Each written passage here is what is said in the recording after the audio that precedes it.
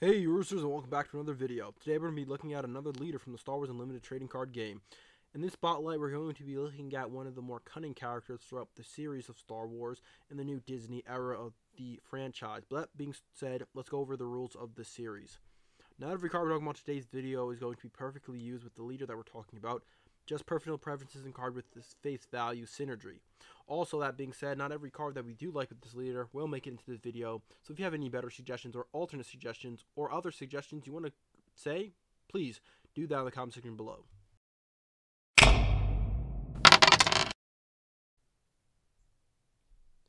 That being said, who is our leader for today's video? That is going to be Grand Admiral Thrawn. He's going to be an Imperial official leader with the cunning and villainous aspects. When this when the action phase starts, you get to look at the top card of each player's deck. As an action, he also can spend a resource and exhaust himself to reveal the top card of any player's deck and exhaust a unit that costs the same as same as or less than the revealed card. At the type of action, if you control six or more resources, you can deploy this character as a leader unit. When he is deployed as a leader unit, he becomes a 3-9 unit with the same ability that when at the start of the action phase, he can look at the top card of each player's deck, but he gets a new ability on attack. He may reveal the top card of any player's deck, exhaust a unit that costs the same or less than the revealed card. So your game plan here is very simple at face value, but how you execute it takes a lot of planning and thought out um, interactions. You obviously want to be exhausting out your opponent's units so they can become they can lose their ability to deal some damage that turn and try to survive in that sense. But at the same time, you also want to maybe use the information you get off of that first ability there to make some smart and, and informed plays throughout the game.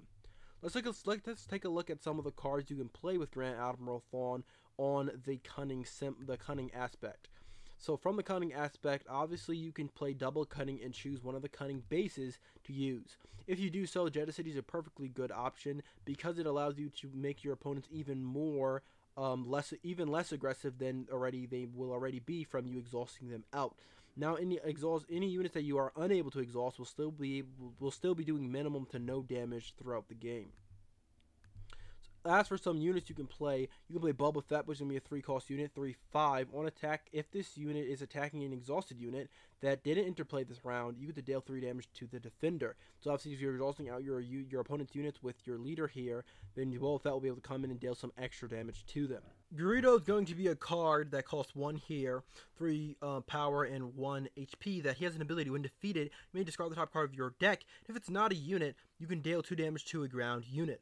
Now, this ability usually be like a random sort of you have no control of what's going on here in most decks. But in Thrawn, you're going to have a little bit of information on what's going to be on the top of your deck.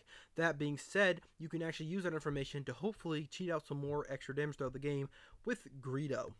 You can also here play the Fett's Fire Spray, or the Slave 1. Uh, it's going to be a 6 cost 5 6 uh, unit. When played, if you control Boba Fett or Jango Fett as a leader or as a unit, now, this really will only happen if you have them as a unit already out on the field. You can ready this unit, and then also as an action, you can pay 2 to exhaust a non-unique unit. Then you can also play the Outer Rim Headhunter, Headhunter to cost 1-3, raid 1. On attack, if you control a leader unit, you may exhaust a non-leader unit. So, fitting into that theme of exhausting out your opponent's units. The Chimera is going to be an 8 calls card, 8 7, shielded. On attack, name a card. An opponent reveals their hand and discards a card with that name from it. And then also you can play No No Good to Me Dead, 2 costs, exhaust a unit. That unit can't ready this round. You can then also play as another um, event Cunning. If you're playing him on double Cunning, then you can play this four cost, choose two in any order. Return a non-leader unit with four or less power to its hand to its owner's hand. Give a unit minus four um, power this phase.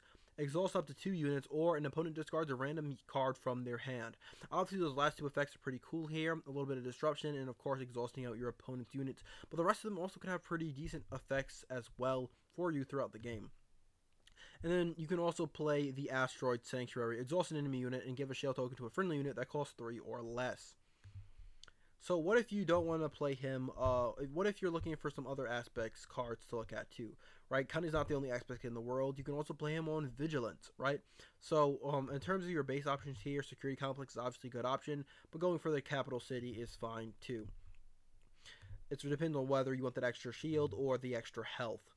You can play Regional Governor, 2 cost, 1 4. When played, name a card. While this unit is in play, opponents can't play the named card. Now, this is going to be an ability that most decks wouldn't be able to have a good idea of what's going on. With Thrawn, you have a little bit of information about what might be on top of your opponent's deck. And then, of course, what they might have in your hand through that information. Because if you see what's on top of their deck and then the next turn, they're obviously going to draw two cards. And now you have a little bit more of an idea. Obviously, it's not perfect. They could have resourced that card. They could play that card before you get a chance to play this card. But in all, all you might have a little bit more information than your opponent. Um, um, than your opponent, than other decks might, and then also generally you can just name a card that you're afraid of at the current point in time.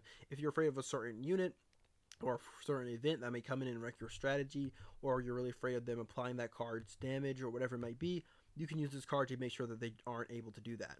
You can play the AT-AT Suppressor, 8 cost, 8 8, when played, exhaust all ground units. And then, of course, you can play the Inferno 4, 2 cost, 2 3, when played and when defeated. Look at the top two cards of your deck, put any number of them at the bottom of your deck and the rest on the top in any order. Generally, you're already going to know what's on the top of your deck, but this card can give you a little more bit of information.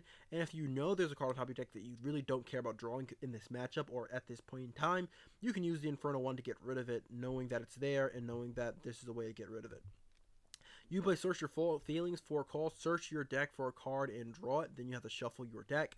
Um, obviously, it's a really powerful search card, but a lot of times when you're looking, when you have the information about what your opponent may have, you may want a little, you may know what you may need, but not have it at the time, and being able to just search out any card is absolutely super powerful.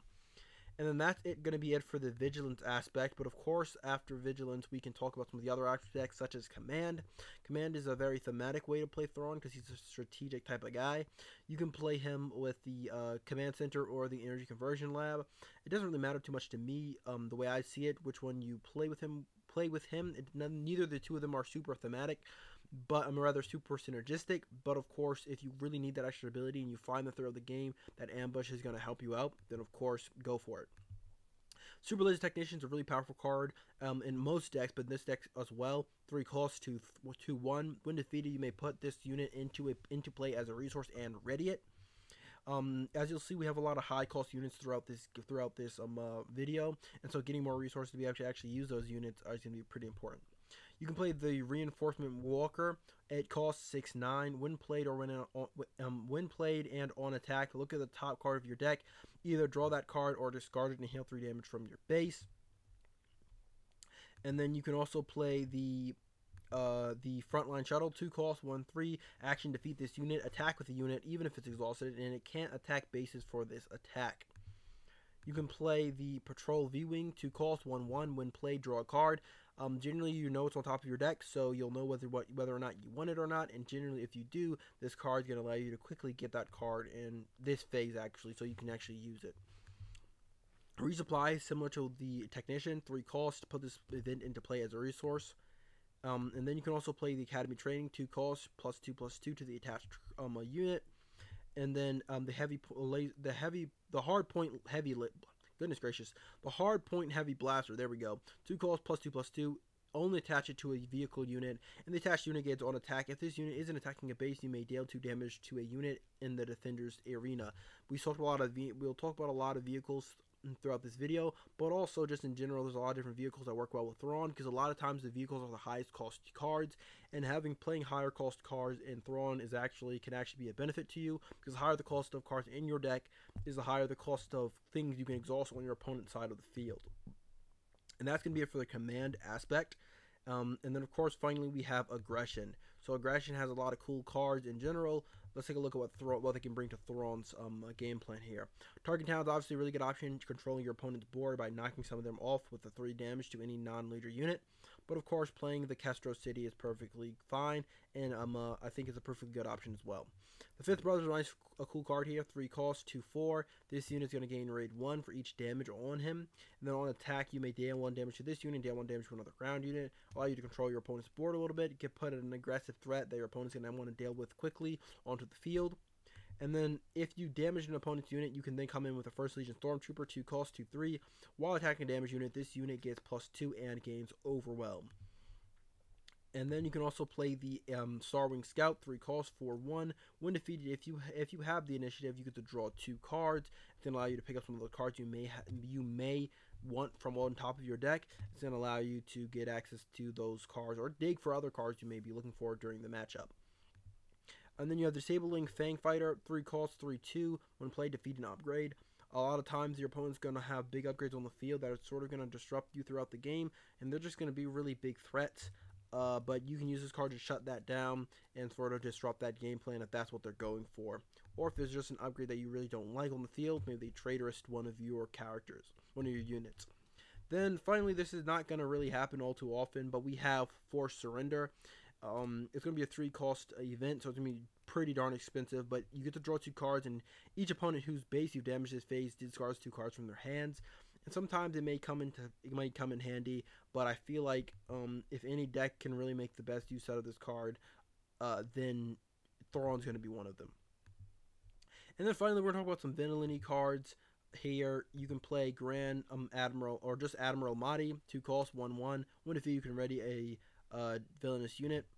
And then you can also play the Viper Probe Droid, two costs, three two. When played, look at your opponent's hand. Really not a powerful effect whatsoever, but at the same time, it's going to give you a little bit more information, and that's sort of the Thrawn's game plan, so I felt I might as well include it in today's video. Interestingly enough, I'm going to talk about some heroism cards really quickly because there's a lot of heroism cards that work pretty well with Thrawn, and they're just hard not to mention them because of the value they can uh, provide to the game. First off, we have R2D2, one cost for um, HP, one cost, one power, for HP. When when you play him and when you attack him, you can look at the top card of your deck, and you may put it at the bottom of your deck. Generally, you're already going to know what's on the top of your deck, so this card isn't exactly too powerful, but sometimes throughout the phase, if you've drawn some cards, if you use some other abilities, top of your deck, part of your deck may change, and R2D2 can help you refix it. Then 3, 3, C3PO is going to be a 2 cost um, um, unit, and this one's super powerful with Thrawn. One cost for um, one power for um, HP. When on when you play him and when you attack with him, you can choose a number and look at the top card of your deck. And if it's the if if its cost is the chosen number, you may reveal it and draw it. In a lot of other decks, you may not be able to consistently know what's on top of your deck, but in Thrawn, when you're playing Thrawn, the ability to know what's on top of your deck is a guarantee. So a lot of times is going to be when on play you get to draw a card, on attack you get to draw a card, and your opponent's going to have to deal with this threat, or they're going to have to let you get a, a steady flow of cards coming in. Chopper is another interesting one. One cost, one three. Obviously, all these cards are going to be plus two to their cost because of uh, the fact that you don't have the heroism aspect, but they're just cards that you can think of playing maybe if you were playing Thrawn because they do have some pretty cool synergist, synergy with him. 1 power, 3 HP. While you control another Spectre unit, this is going to gain raid 1. Probably not going to happen. But on attack, you can discard a card from the defending player's deck, and if it's event, exhaust the resource that player controls. And a lot, again, in a lot of cases, it's going to be a random flip out the top card of your opponent's deck. But in Thrawn, you may not, you may actually know what that is, and you may know whether or not this is going to work or not. And so it's going to get, you're going to have a little bit more information on the matter, and it's going to allow you to make more informed decisions when to use this ability when rather when to attack with Chopper. Ezra Bridger's gonna be a three cost, but he's gonna go up to a five cost card, but it may actually be worth it. He's gonna be a three four. When this unit completes an attack, you may look at the top card of your deck. You may play it, discard it, or leave it at the top of your deck. Obviously, it's a lot of information going on there. You can fix the top card of your deck, but if you really want to, you can play it. Obviously, you have to pay the cost. But um, in Thrawn, you're gonna know what that card is most of the time. So a lot of the times, you're gonna know whether or not you want to play the card. Bamboozle is an interesting card because I'm not really sure how this is going to work, but um, it's going to be a two cost. You may discard a uh, cunning card from your hand instead of paying this event's cost. I'm really not sure if I'm really not sure if that means that even if you don't have the heroism symbol, as long as you discard the cunning card, you can just play for free essentially. But I mean, maybe you still have to pay the extra two. I'm pretty sure it's still free, but if that is the case, you can exhaust a unit and return each upgrade on it to its owner's hand. A pretty cool card in general. And then finally, this card is really not that amazing because it's going to be a 5 cost event, but it's You're My Only Hope. And you get to look at the top card of your deck and you may play it, it and it costs 5 less.